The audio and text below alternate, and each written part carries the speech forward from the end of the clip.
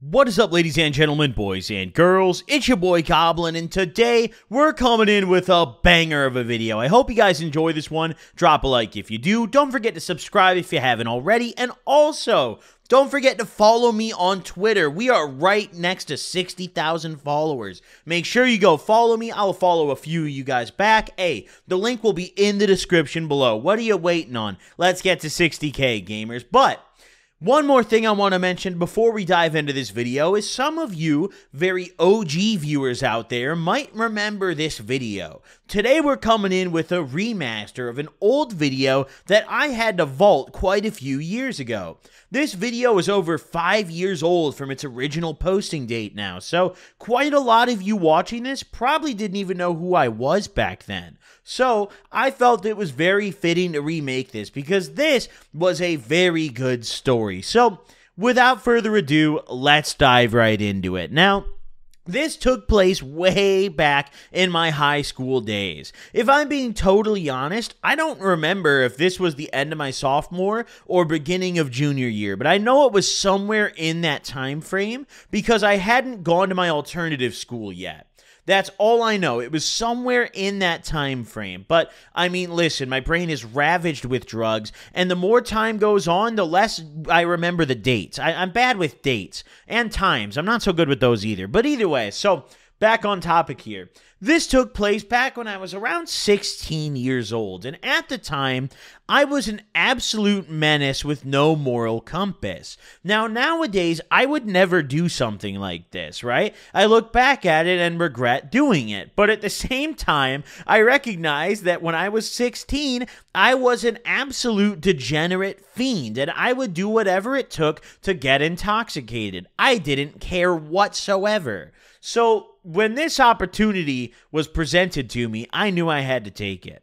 Now, as I said, this took place back when I was 16, and on this fateful day, I had gone over to my good friend Cody's house. Many of you know him from my videos. A lot of you who are new to the channel still probably know him if you've gone back and watched any of my old videos. But I went over to Cody's house on this day, and I would go over there pretty often, not only to hang out with him, but also to buy weed from his brother. It was kind of a double whammy. On this particular day, I remember I didn't really have any money for weed, but Cody said that he'd let me hit a blunt. He had a little bit of weed left. So I went over and he said he had something to show me. Now, when I get there, after we smoke this blunt, he tells me to follow him into his room. And I'm curious, normally, when he tells me to follow him in there, it's something drug related. He's going to pull out some acid. He's going to pull out something, you know? I mean, I don't know what it was going to be, but, you know, I had very high hopes for this. So we go into his room, and he opens his dresser and pulls out a fake $100 bill. Now, this is not a good fake. This would not pass at any store. The paper, the material of it was nowhere near right. It felt like paper towel almost. Like it felt like someone just took some toilet paper, maybe smoothed it out a little bit, and was like, yo, let's just print Benjamin Franklin on this shit and pass it off, you know? I mean, this was genuinely the most awful looking fake I've ever seen in my life. I don't know where he got this. I don't know where this came from. And I feel really bad for whoever originally paid money for this fake dollar bill because this thing was atrocious, ladies and gentlemen. I mean, awful. But as soon as I saw this, I knew that we had an opportunity here. Like I just mentioned earlier, I didn't have any weed. Cody didn't really have any weed either. But I knew a whole lot of idiots, I mean complete dinguses, that we could meet up with and pass this hundred off to. And that's exactly what I did. I listen. Like I said earlier, I feel bad about doing this now, but you know what? My fiend self at the time, totally honest here, no regrets whatsoever. I mean, this was a fantastic evening. So, I got on Snapchat immediately and started hitting up as many people as I could find that might even have a small amount of weed. I didn't even care if they were taxing us, right? Because at the end of the day, we're fucking them. So I was trying to hit up, you know, people that I maybe didn't hit up for weed as much, but my main weed guy was usually Cody's brother. So I didn't really give a fuck who we were about to finesse here. As long as I got some weed, I'm happy. Eventually, a kid responds to me who we're going to call, oh, what are we going to call him? Let's call him Jake. Now, Jake is someone who I don't think has ever been in any other video of mine because we were never really friends at all. I mean, I've never smoked with this guy. I've never hung out with him. I don't even know if I've really, you know, seen him many times outside of school, except every now and then I would buy weed from him. He was one of those kids who, you know, he wasn't a real plug. You couldn't buy any notable amount off him, but he'd maybe be able to get you on like a half ounce or, you know, less than that. So, for someone who never had much money like myself, he was a good contact to have because his weed also wasn't the worst. It wasn't anything to get too excited about, but I mean, it was smokable. And back then, I also had no weed standards whatsoever. I'm pretty sure I would smoke a dank vape back then. In fact, I mean, I'm pretty sure I ripped a few of those back in the day. I hit a lot of fake carts when I was younger, but that's not the point, all right? The point here is I hit this dude up and I tell him, I'm like, yo, I, I got a hundred dollars. How much weed are you willing to give me? And this guy hits me back with the tax a quarter ounce. Now, mind you, you got to remember that back in high school, that was not that bad of a price for me, right? This was in like 2015. This was before weed was legal. Uh, any, you know, I don't even think Illinois had medical yet. Uh, nobody, you know, we barely knew what dabs were. Carts pretty much didn't exist yet, you know, at least out here. So, the the whole market was so different back then. I look back at it and I'm like, wow, my stupid ass really paid a hundred for a quarter a mid, you know? Like even if I was paying with real money, I still would have bought that quarter probably. Because back then, that I mean, I didn't see a problem with that price, you know? It was like, all right. I mean, if if there's any purple or orange on the weed, it's that gas, bro. That's that that's that high school mentality. But either way, so Jake responds and he tells me that he can get me on a quarter ounce for that. And I don't even try to negotiate. I'm just like, yo, for sure, dude. Sounds great. Let's get it going. So I tell him that we're going to meet him in the parking lot of the AMC movie theater. That's about 10 minutes off from Cody's house. You know, a quick little cruise. It's more close to the high school that we went to, which was kind of a middle point for the both of us, Jake and myself. So, worked out pretty well. I hopped in the car, me and Cody, and we rode over there. And we're trying to figure out how to pass off this bill to him because this bill is so awful that, like, if he touch, if he spends any extended amount of time looking at this bill, it's over with for us absolutely over with. So we're sitting there, and we're trying to think of different ways. We're like, yo, we got to distract him and just pass him the money real quick, you know, or maybe like I don't know, maybe we just crumple it up or something, but we realized that the paper it was printed on was so soft that crumpling it up would probably just rip it. What we ended up doing was we took some singles that I had in my car. I had just a couple $1 bills, and we made it look like the money was kind of folded up right? So we took the 100, we took a couple singles and put it behind it to make the bill feel thicker because I shit you not, if you just held this one little fake 100 on its own, it was so thin and shit paper that light would pierce through it. Like out in the sunlight, if you let's say held this up, it would just light would just pour through it, dude. I mean, this this was just the single worst counterfeit bill that I've ever touched in my life. So we decide on going with the single strat, the single strategy, which is, you know, we, we take a couple singles and we put them behind the 100 to make it feel thicker. So when he's holding it on the back of the bill, it feels like a real bill, you know? I mean, maybe he would find it weird that we're giving him some extra bills with a 100, but we figured if we just folded it up, maybe he wouldn't notice. We kind of folded it in a way where the 100 was sticking out a little bit, but the ones were actually on top. We were kind of trying to mess with it on our way there and, you know, experiment with different ways of arranging the bills and seeing how we could make it pass as legit as we could. So eventually we get to the parking lot of the AMC and we're sitting there and Cody's holding the money. He's got it folded up and we've got it all set. We're ready to go. And I'm not going to lie, the idea of putting the $1 bills like in with it was absolutely genius. I it worked like a charm. This guy pulls up and I listen, One of my favorite things about Jake was he took selling weed so seriously to the point where he acted like he was in some sort of like James Bond movie with it. I think I've talked about this in a previous video before. In fact, it might have been the video that we're remastering here. But this guy would pull up and pop his trunk and open a metal briefcase just to serve you like an eight.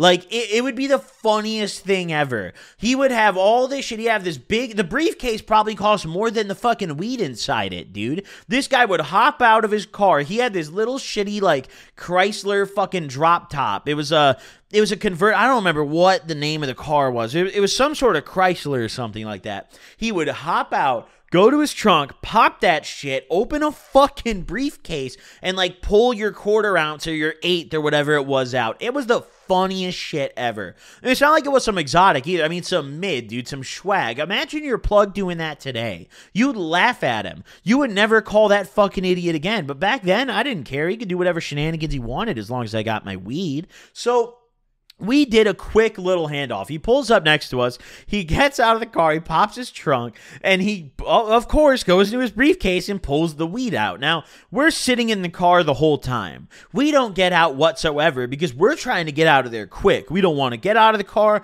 We don't want to dap him up. We want to get our weed and go. So at this point, he had only served me maybe once or twice before this. So there wasn't necessarily a lot of trust between us, but also, you know, we'd known each other. I'd had classes with him, you know? So it's not like we were friends, but we were acquaintances enough where maybe he let his guard down a little bit and let me get away with doing this. Now, like I said before, this was so scummy of me, but you know what? My 16 year old self didn't give a fuck. So obviously, you know, I'm I'm all amped up. I'm ready to go. I'm excited thinking this is going well so far. He's got the weed. He comes up to the driver's side. Cody's handed me the money already at this point, and I just hand it over to him folded up and he gives me the quarter ounce. He's telling me a little bit about it. He's like, "Oh yeah," he tells me whatever strain it is. I don't remember what strain it was, and we get the fuck out of there quick. I'm just like, "All right, man, thanks." Gotta go. He's like, for sure. Thanks. So we get the fuck out of there. I mean, we dip. We go back to Cody's house and we are dapping each other up, laughing our asses off. We cannot believe that we just got away with this. We just got a free little quarter ounce with this piece of shit $100 bill. And I was expecting any moment for Jake to blow my line up once he touched this money, but he didn't. He didn't hit me up that night. He didn't hit me up the next day. In fact, we had smoked all of his weed pretty much that night, and it took this guy about a week to hit me up about this money. A week later, I was going home from school, and I remember this so fucking vividly because he was so fucking mad about it. And back then, I thought it was funny. Now I feel bad. I wish I could pay the guy back, but you know what? I mean, I, I don't know him anymore, so whatever. Life happens. Uh, get finessed. But back on topic. So he hit me up on Snapchat as I was driving home one day. And I get on my phone, I get on Snapchat and I check it. And he's like, yo, that hundred was foo, bro. And I respond to him, I'm acting stupid. I'm like, what do you mean, man? Like, what do you. Like, what are you talking about? You know, I, I don't know. Like, well, I'm, I'm playing dumb at this point. I'm like, what do you mean? He's like, dude, I took the bill to the bank and they said it was counterfeit. It made me fill out a bunch of paperwork about where I got it. And I'm sitting there and I'm like, oh my God, dude. Of all the things he could have done with that bill, he took it to the bank. And I'm sitting there thinking to myself, I'm like, yo, did this guy snitch? Like, like is Cody's house about to get raided for like a fake? Is am I about to get fucked? I mean, he didn't really know Cody. He knew me. Am I about to get fucked? I'm sitting there, and at this point, I'm getting a little nervous because, you know, it wasn't necessarily about him realizing it. I knew that that was imminent, but the fact that he had to, that he took it to the bank and had to fill out a bunch of paperwork is what sketched me the fuck out because I didn't know anything about that process. I'm thinking to myself, I'm like, bro, what did they make him like? Did the cops come? Like, what the fuck happened there? So he's explaining to me, he's like, yeah, bro, that bill was food, dude. And I close out of the chat for a minute and I call Cody. I call him up and I'm like, yo, dude he fucking he knows, dude. He took the money to the bank and filled out a form, and Cody's like, "Oh shit." We're sitting there discussing to each other what to do, and I'm like, "I have an idea." I'm like, "Cody, What if I just throw you under the fucking bus? And he's like, What do you mean? And I'm like, Well, what if I tell him that it was your bill and I didn't know? He doesn't know you. You don't go to the same school as us, right? This is before the alternative school. So me and Cody, right? Did not go to the same place or anything. Um, eh, you know, I mean, there was no. This guy was never going to see Cody again, ever again. I mean, realistically, it was just not going to happen. So I was like, "Yo, what if we just say it was your bill?" Because he doesn't even know me like that. So, like, he doesn't know that we hang out all the time. And Cody's like, yo, that's kind of a good idea because then he'll kind of fuck off about it, you know? And I'm like, yeah, let's do it. So I go back to Jake and I'm like, yo, dude, yeah, that was that's my homie's build, man. I mean, I barely even know that guy. I, I mean, I, that's crap. I'm so sorry he did that to you, bro. I mean, I'm I wish I could tell you more about him, but I don't I don't even think I could tell you what he looks like. I mean, that was my first time. Me, I just I don't know this guy. And Jake, you know, he he he definitely didn't buy it, but you know, he at the same time kind of just let off about it. I mean, it wasn't like this guy was chasing me down in the hallways at school, you know? He kind of just fucked off about it, which I guess it worked out in the end. Looking back at it, sorry, Jake, if you ever watch this. Now that I'm an adult, I feel bad. But, you know, back when I was a kid, I would do whatever the hell it took to get high. And I mean, to be fair, this isn't even the worst thing I ever did. I ever did to finesse someone out of some money back then, you know? I mean, dude, I would steal like ten dollars if I had the opportunity. Gen- genuinely, I mean, I finessed a kid for twenty fucking dollars one time. Why would I do that? I was a, I was a fiend. I was a dirty fiend, absolute scumbag, drug addict. And you know, I'm still a drug addict and like partial scumbag, and you know, fiend here and there. I'm a little bit of all of those things still, but like back then it was really amplified. So I was really going crazy with that shit.